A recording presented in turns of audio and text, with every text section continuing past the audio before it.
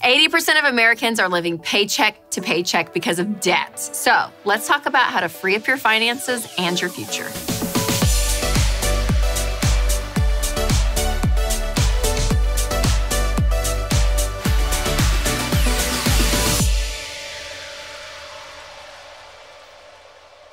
All right, this year we are doing a series on each of the baby steps. So if you missed last episode, we talked about baby step one, which is saving a $1,000 emergency fund. And this episode, we're going to talk about baby step number two, which is getting out of debt. So, we're going to bring on my dad, Dave Ramsey, who came up with the baby steps and has been walking people through them for the last 25 years. And then we're going to talk to a couple who are working their way through the debt snowball and they're in the middle of their debt free journey. It's great because they're just starting to feel the freedom and getting control of their lives. And best of all, you guys, they have hope again. Now, a lot of people think that debt is not bad. Like it's just a normal way of thinking. That's what society tells us. And in fact, 80% of Americans are living with some form of consumer debt right now. Listen, you cannot create a life you love while you're in debt. When you are in debt, it forces you to live life looking through the rearview mirror because you are chained to stuff in the past. So, how do you get rid of debt? Well, it all starts with the debt snowball. Okay, this is the best way, the most effective way to get out of debt. And this is the debt snowball, where you list out all of your debts, smallest amount to largest amount, regardless of the interest rate, pay minimal payments on everything, and pay off the smallest debt first. Then, once that's paid off, you roll all the payments, all the money you're throwing at the smallest debt to the second smallest debt. Then, once that's paid off, you have the minimum payments of the smallest debt and the second smallest debt to roll over to the third smallest debt. So it gets bigger and bigger and bigger. Your money continues to expand to start knocking down each debt. And I love this because what this takes is motivation. Okay. And once you pay off that smallest debt, motivation comes. Your behavior starts to change. Now, some of you might be thinking, but Rachel, shouldn't you pay off the highest interest rate first? Yes, technically that would be mathematically correct. And that method is what they call the debt avalanche, which is terrible, by the way. I mean, like, avalanche or snowball? Okay, snowballs are way more fun. I don't want to be caught in an avalanche. No, no, no, no. So stick with the debt snowball. But again, mathematically speaking, yes, the debt avalanche could save you a few hundred bucks mathematically speaking. But when studies have been done of people who do the debt snowball versus the debt avalanche, they actually get out of debt faster using the debt snowball. Again, because it's all about your motivation. It's all about your behavior change. Now, the debt snowball, it has worked for millions and millions of people, and I promise it can work for you. But up next, I want to talk about something that you need no matter which baby step you're on.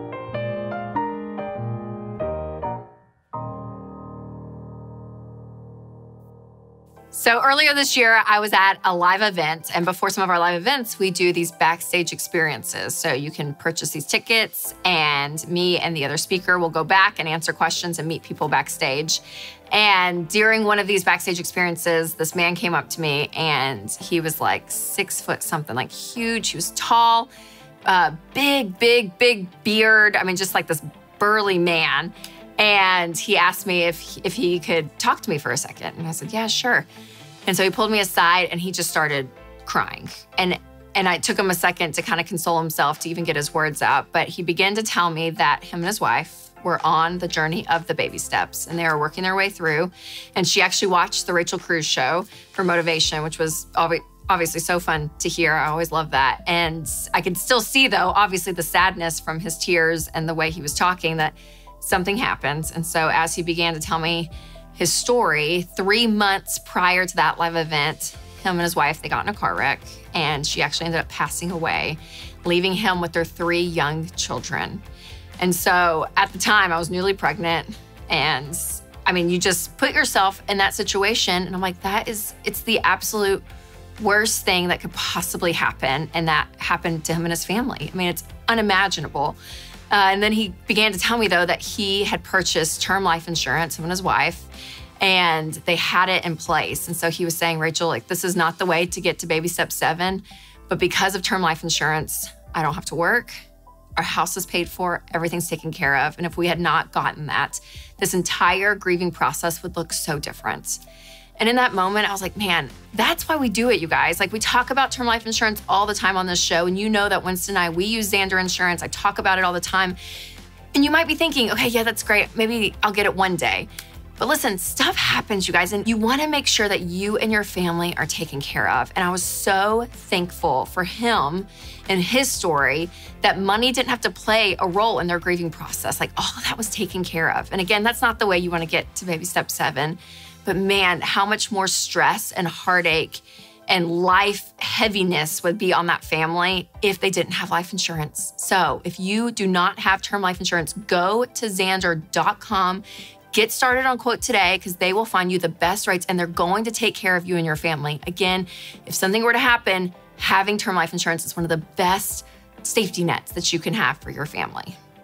All right, up next, I want to bring on my dad, Dave Ramsey, and we're going to get back to talking about getting out of debt because this is one place that can free up your family as well. But debt in general, it's changed, you guys, over decades now. And so we're going to hear all from Big Dave's perspective when it comes to that. All right, you're back. I am. Here you are, at the Rachel Cruze Show. Almost like I work here. Yeah, sort of.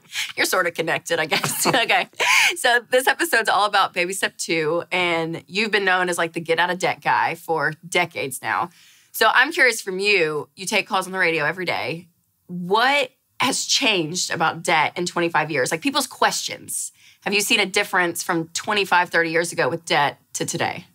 Yeah, I think there's different. Uh, we've gone through different ebbs and flows of which kind of debt is the crisis of the day, Oh, the flavor of the day. Like when we first started, everybody was talking about credit card debt, how evil and how horrible credit card debt is, and we still think it is. Do you find that people are in more credit card debt? It's become more normalized than even 30 years ago. Do you what do you see around that subject specifically? Thirty years ago, people wrote checks, Yeah. And so it was a big deal. The chunk chunk of the credit card yeah, was like a thing. you would run across the thing. You know what I was thinking about Home Alone 2 when he's lost in New York. Oh, yeah. And he has to give it to the guy and they they pull it out and they chunk chunk and it gets into the Plaza Hotel. Like that's that's always my thought of like credit cards back then. It's like pulling out the cell phone on Jerry Maguire that's this Yes, big. you that's know, right, that's Same right. thing. It shows you the age of the movie, right? But the, the yeah, so credit cards are what's happened with them is the debit card has eclipsed first the check.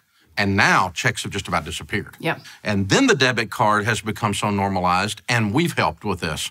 Be, made it very, very popular as an alternative to the credit card. So the credit card kind of looks like the dirty, crazy cousin of Mm-hmm. Well, the debit card. The now. crazy thing is, is that millennials studies are showing are actually getting into less credit card debt than their Right. parents were. So because like, they have this option and it's been Yeah. put forward. I mean, people are starting to realize the credit card is the cigarette of the financial world. Yeah. It used to be cool. Yeah. And all the movies had it, you know, in 1950s, everybody's smoking everything, right? And and then people start talking about, hey, this stuff kills you.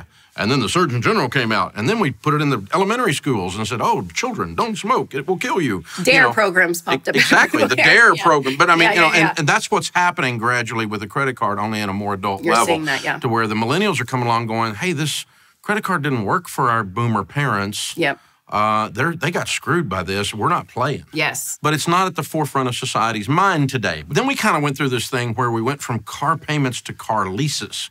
Car companies realized they could make a lot more money on leases than they could on, on regular payments on regular lo- car loans. And so they started pushing them.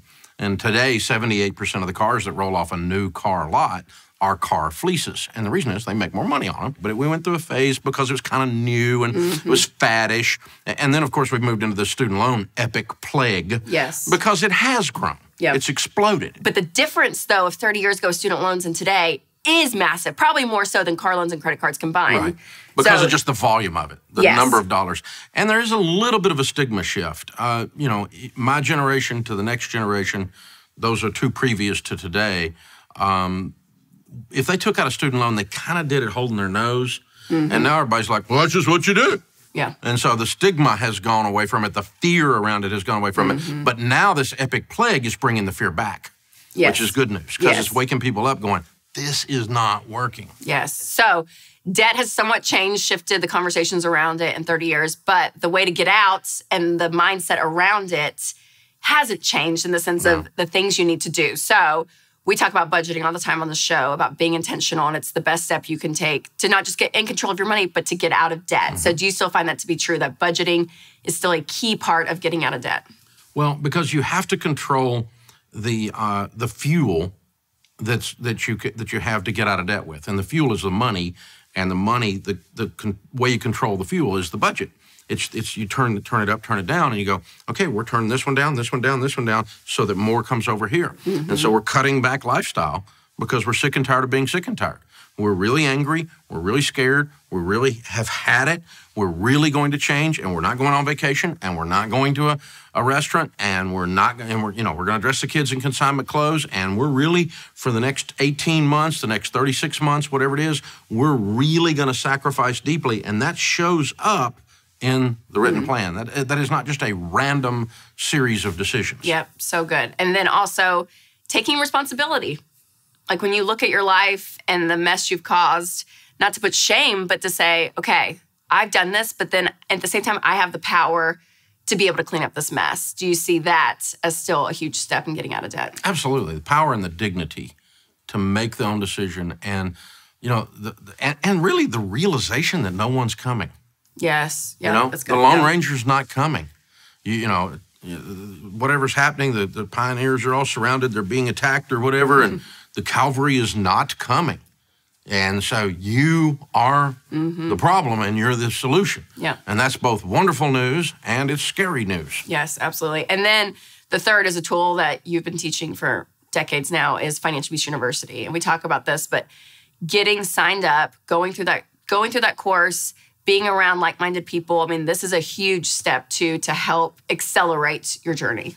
In a much more intense situation, if you're dealing with someone who has an addiction, there's two things that they do.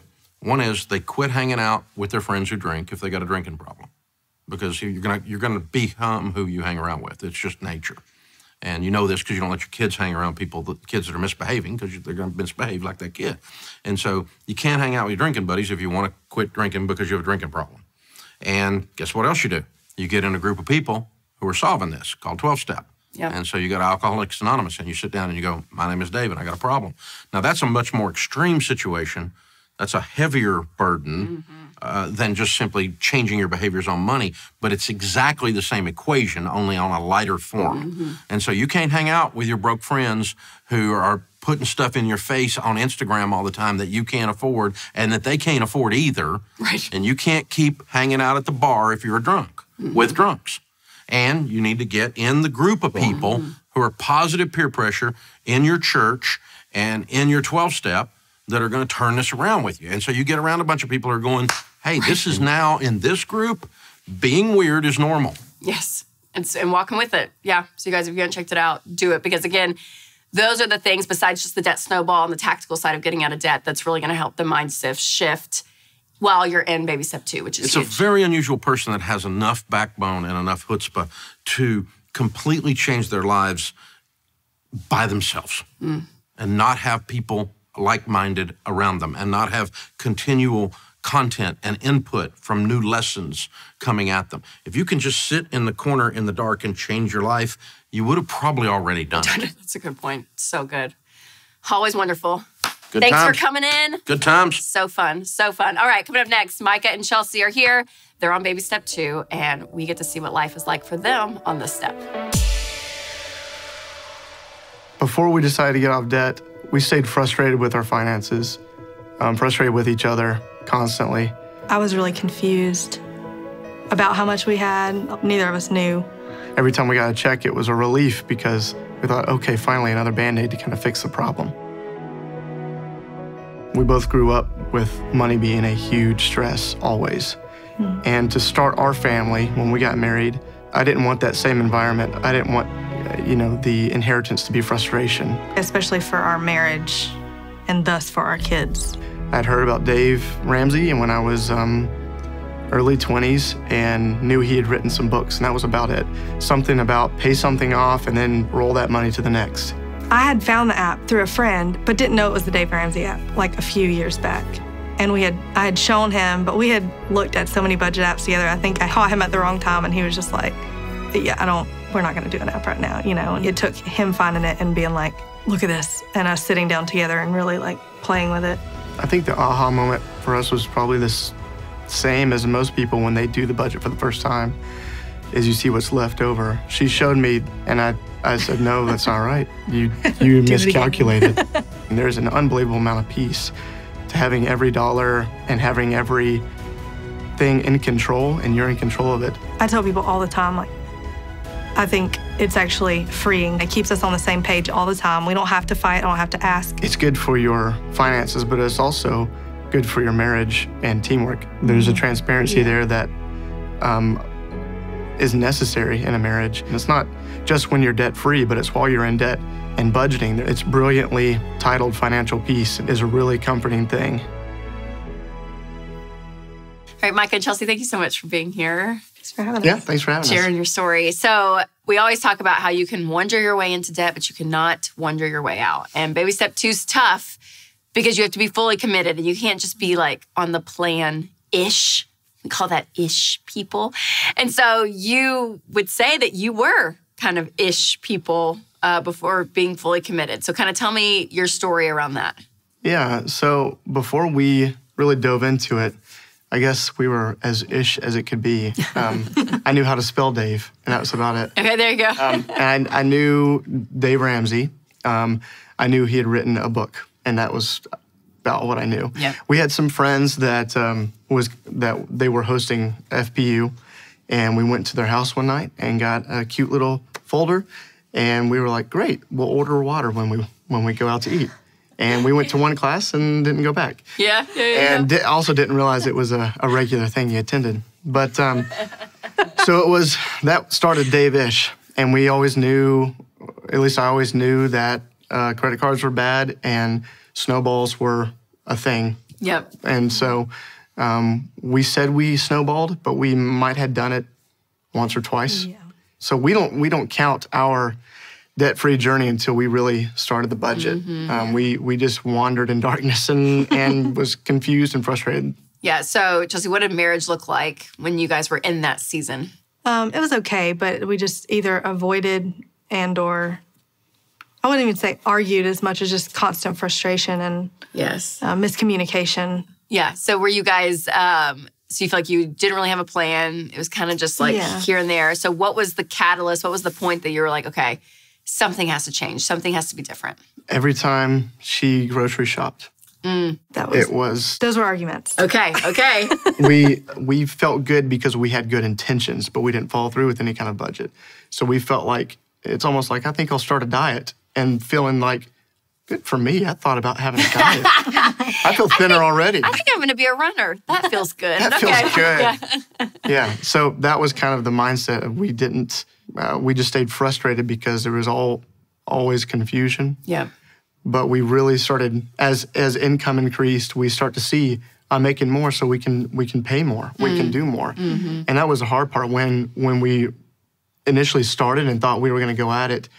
I'd gotten laid off, she gotten pregnant, and uh, I started a job, and I was getting 800 a month, and that's what we had.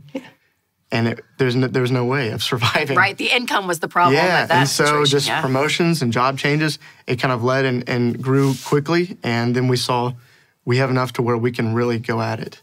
Yeah. Um, you know, and that's that's always a Dave thing. If it's not a, a debt problem, it's an income problem, and it, it was initially. so, what was the one thing that really helped you guys get out of debt? Would you say The budget app.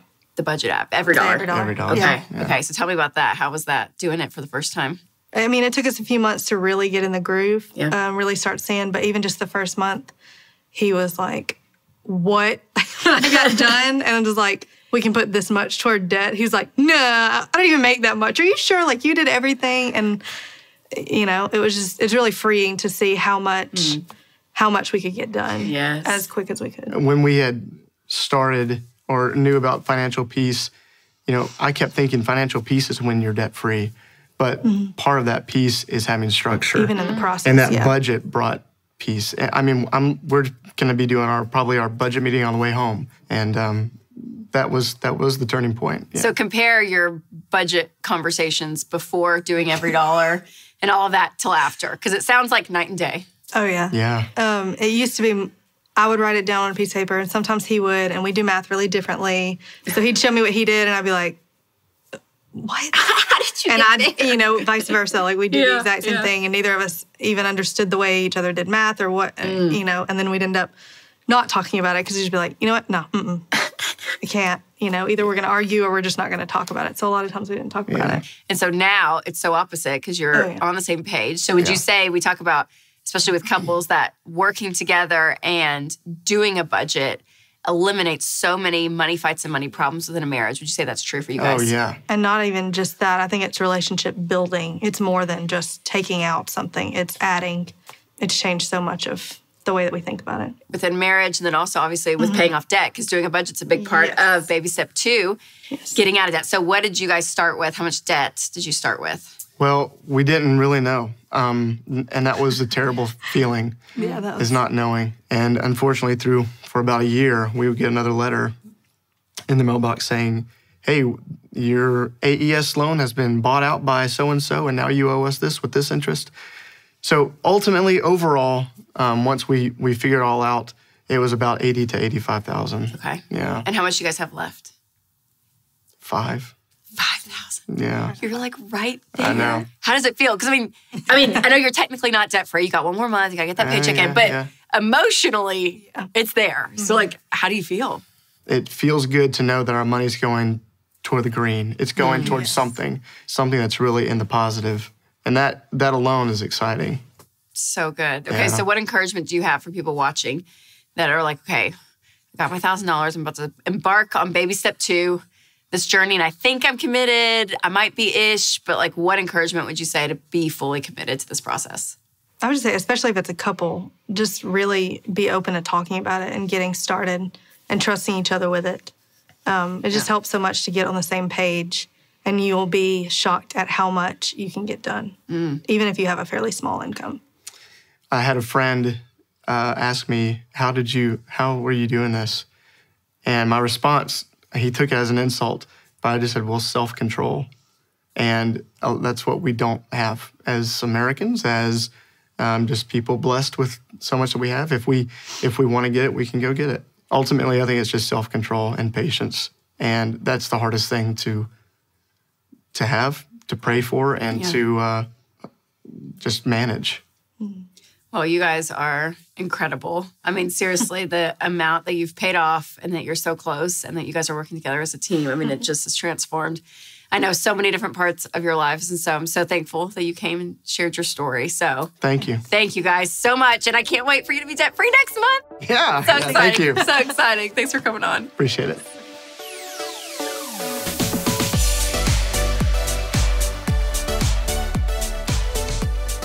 I just love their story. And for you guys, I am so rooting for you to get out of debt. And so I hope that this episode motivated you to do that. Thank you so much to all of my guests for coming on this episode. And thank you guys for watching.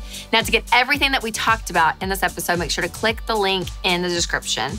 And I always want to hear from you and answer your questions. So I've set up a new voicemail just for you. You can call, leave your message, and I may answer your question in a future episode of the show or the podcast. So just call 844 944 1075 and ask. And if you haven't subscribed to my YouTube channel or my podcast, make sure you do that so you don't miss anything new coming out from me.